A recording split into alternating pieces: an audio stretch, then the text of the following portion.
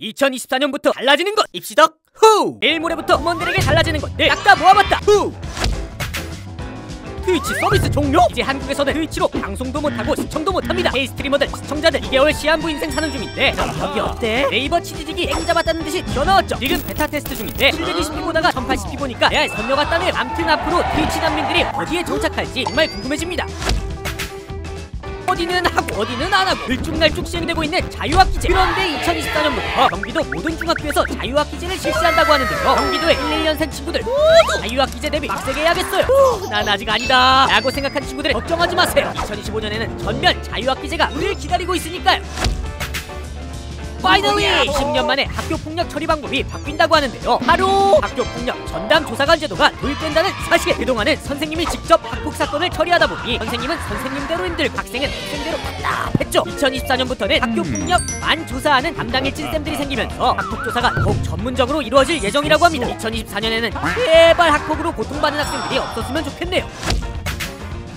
학폭가해자 처분이 결정났는데도 부장쌤 교육청이 빙비적거린다. 2024년부터는 바로 교육감님께 다이렉트 신고 때리면 돼. 교육감님께 직접 신고하면 기체 없이 조사 들어간다니까. 다들 가슴속에 교육감님 전화번호 하나씩 갖고 다니자고요 앞으로 학업 성취도 평가를 매년 봐야 한다고? 이전에는 초육 이상 의만 학업 성취도 평가를 받는데요. 2024년부터는 초중고 총 7개 학년으로 확대된다고 합니다. 중학교부터는 거의 매년 시험을 보는 셈인데 젠장 왜 항상 나부터야! 당장 내년 2월 20일부터 4월 30일까지 본다고 하니까 우리 학교는 언제 보는지 확인 필수!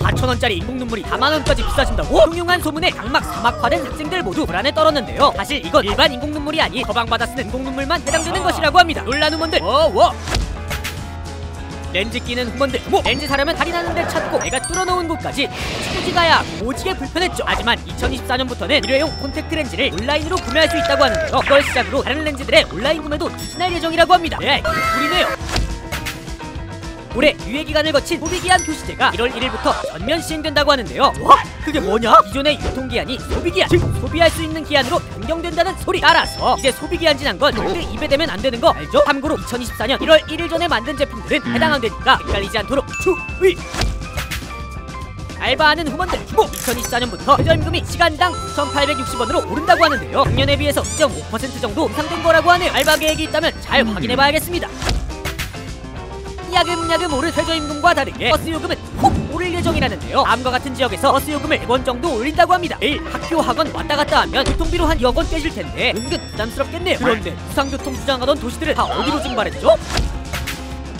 다들 이별 준비하세요. 우리 귀염둥이 푸공주님이 2024년에 중국으로 돌아간다고 합니다. 7월 전까지는 무조건 반환해야 한다는데 그나마 희소식인 건 푸바오의 동생 루이바오 후이바오가 공개될 예정이라고 하는데요. 하지만 나한테 공주는 푸공주뿐인걸. 우리 푸공주 데려가지 마라 이것들아